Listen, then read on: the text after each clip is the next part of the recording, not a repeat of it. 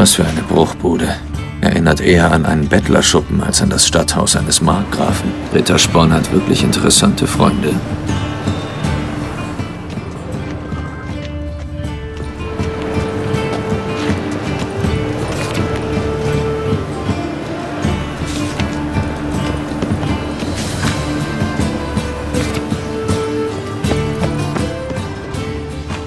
Jedes Kind braucht Liebe. Denk daran, mein Gläubiger.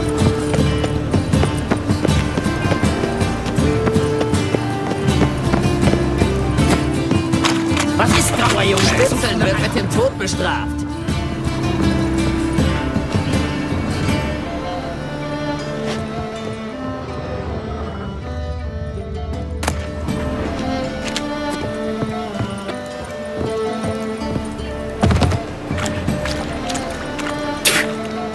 Halsabschneider! Verpiss dich, Arschgesicht! Ich hasse die verdammten Kuchen. Was ist, grauer Junge? Suchst du nach einem Abenteuer?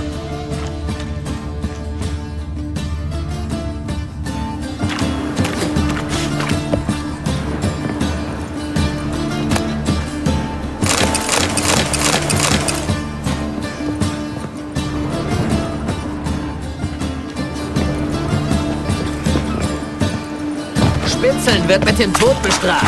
Hey, Halsabschneider! Erst haben sie meinen Sohn getötet. Jetzt werfen sie uns auf die Straße. Bin ich kaputt.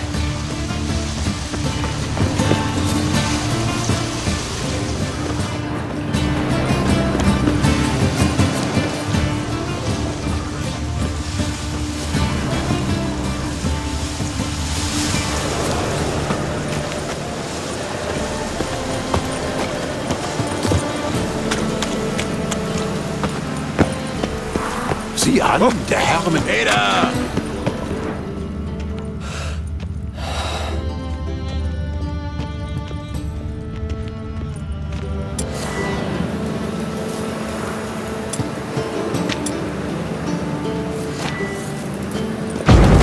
Wache! Wache!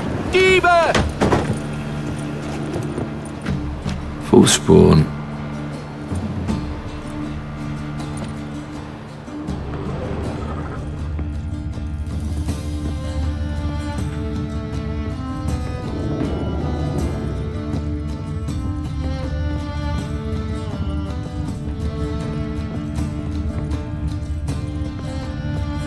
Ein Brief und eine Flasche. Der Wein aus deinem Geburtsjahr, einfach vorzüglich. Verblüffendes Bouquet. Du musst ihn versuchen, aber leg die Flasche wieder dahin zurück, wo sie herkommt. Aus deinem Geburtsjahr. Könnte das von Rittersporn sein? Oder von Ciri?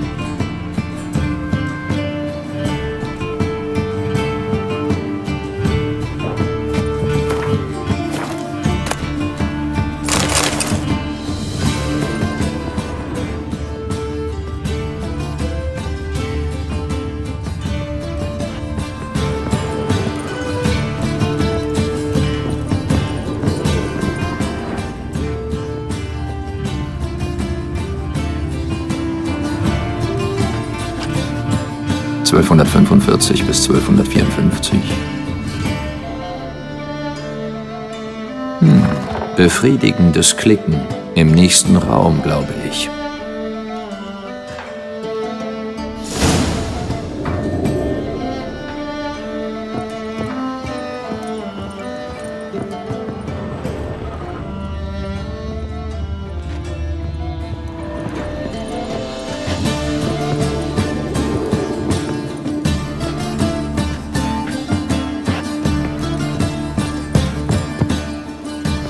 Geheimzimmer. Hier haben Rittersporn und seine Leute wohl den Raub geplant. Ein Fleck. Wüvernöl.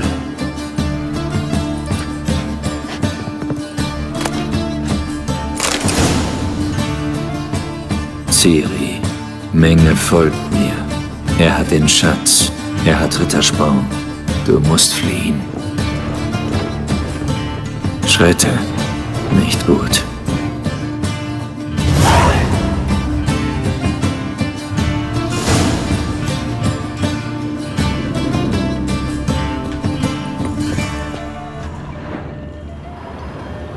Fleck. Wövernöl.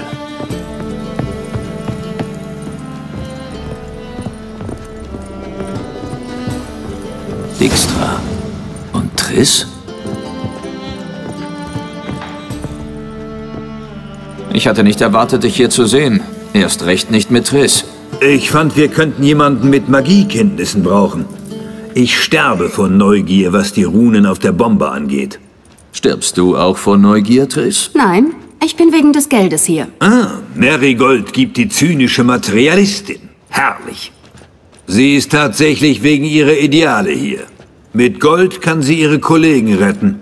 Wenn ich meinen Schatz wieder habe, kann ich ihr helfen. Ganz einfach. Wo ich gerade dabei bin, verzeih meine buklerische Ausdrucksweise, aber weißt du jetzt, wer verfickt nochmal mein Gold hat?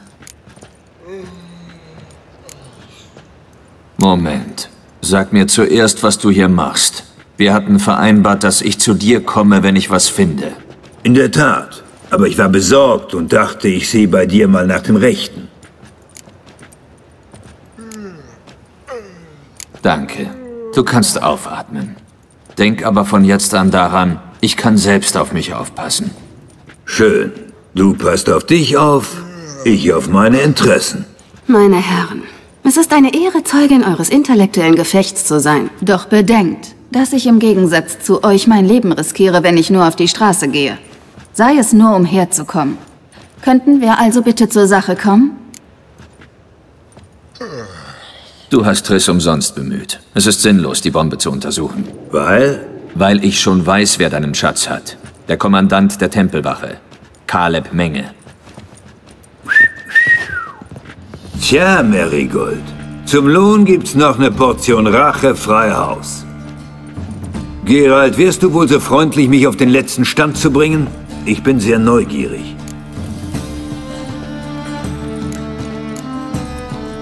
Henkel hat's mir gesagt. Der Alte ist wohlauf. Hat seinen Tod vorgetäuscht, um seinen Gläubigern zu entkommen. Seltsam. Ich wusste gar nicht, dass er verschuldet war. War er aber. Menge hat versprochen, sich gegen Hilfe beim Raubzug um alles zu kümmern. Daher... Gerald, wie drücke ich es sanft aus? Schwachsinn. Wenn du meinst, dass ich auf das Märchen reinfalle, das du dir aus den Fingern saugst, kennst du mich wirklich schlecht.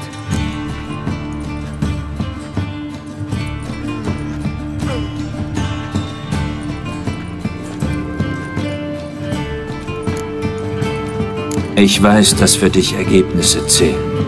Ich habe gelogen. Aber ich kann dich zum Schatz führen. Verzeih, Gerald.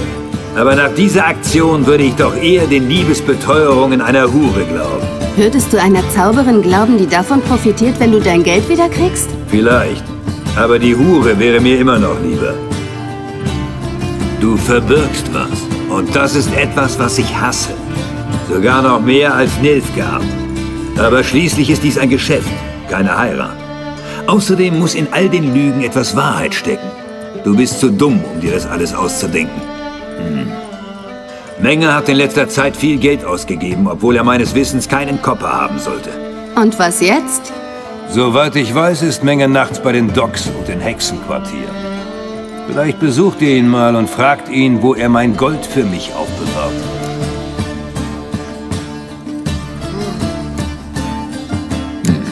Wir machen also deine Drecksarbeit und du sitzt hier rum und drehst Däumchen? Schätzchen, wenn ich jemanden benutzen kann, dann tue ich es auch. Es ist bequem. Und sicher. Gib zu, dass du Angst vor Menge hast. Natürlich habe ich Angst. Er ist ein gefährliches Arschloch. Triss würde mir wohl zustimmen. Nicht mit diesen Worten, aber grundsätzlich schon. Menge wird wohl kaum freiwillig gestehen. Wohl nicht. Wie gut, dass ich dafür einen Hexer und eine Zauberin habe, die schon so viel zusammen durchgemacht haben. Was hat unsere Vergangenheit damit zu tun? Eine Menge. Liebende würden alles füreinander riskieren. Das kommt mir sehr gelegen. Das steigert eure Chancen, aus den Jägerbaracken lebend rauszukommen. Mit meinem Schatz. Die Informationen sind überholt. Wir sind kein... Ja, ich weiß. Ihr habt euch eine Woche nach dem Gipfel in Lockmuin im Wald getrennt. Da, wo die Lixella in den Ponta fließt. Aber du weißt ja, alte Liebe rostet nicht. Erste. Erste Liebe. Woher zur Hölle? Ha, das ist mein Geheimnis, Turteltäubchen. Muss jetzt wirklich los. Viel Glück. Du hättest nicht so heftig widersprechen müssen. Tut mir leid, ich wollte dich nicht verletzen. Das hoffe ich. Wir sind vom Thema abgekommen. Wir müssen einen Schatz bergen. Triss, ich muss dir was sagen. Dijkstras Gold ist das Letzte, was mich interessiert. Das dachte ich mir. Es geht um Ciri, nicht? Hm. Menge hält Rittersporn irgendwo fest. Und Rittersporn hat Ciri gesehen. Das ändert alles. Hört zu. Wir treffen uns um Mitternacht bei der Kapelle des ewigen Feuers östlich vom Hafen. Wir finden schon einen Weg in die Jägerbaracken. Gut. Bis dann. Und danke.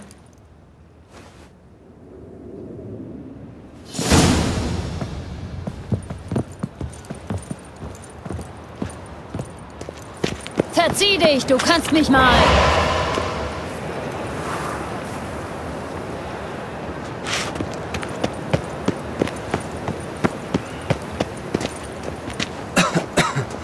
Ich kaputt?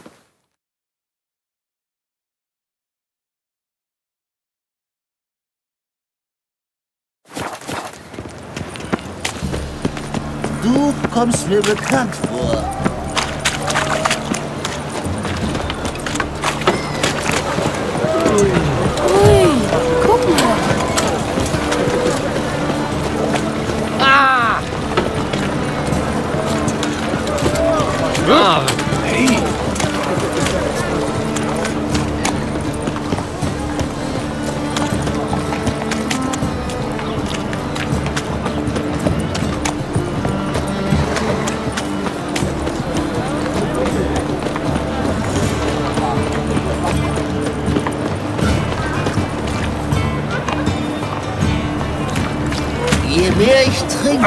Desto schlauer werde ich. Gemeint, ich hätte die falsche.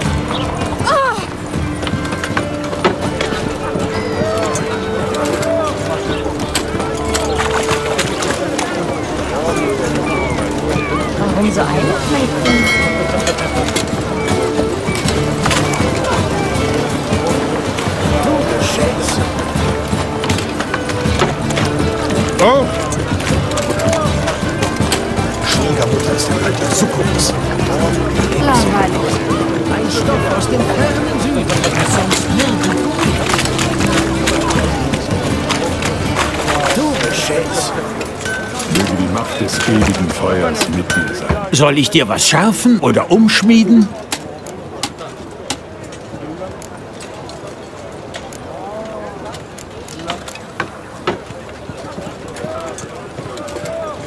Ich möchte, dass du mir etwas anfertigst. Kriegst du das hin?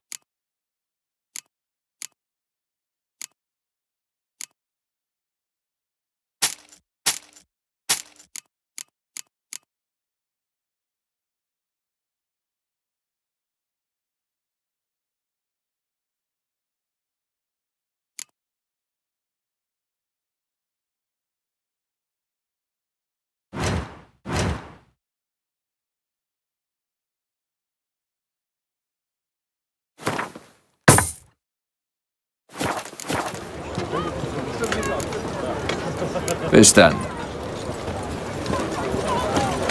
Du Scheiße.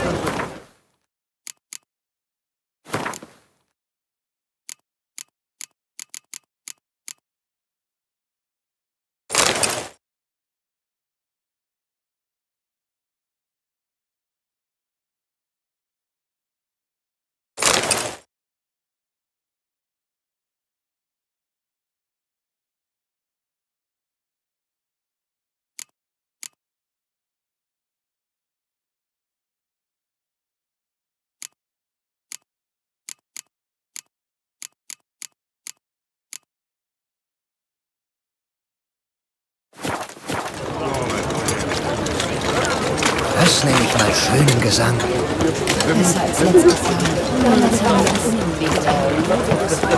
Hilfe! Rette mich! Ich sterbe.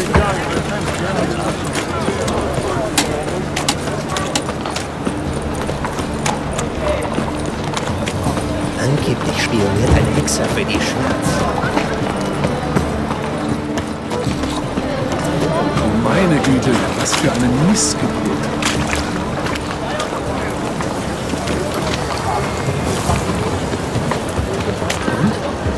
Die Reparatur geschafft? Nein, hat gemeint, ich hätte die falsche Adresse.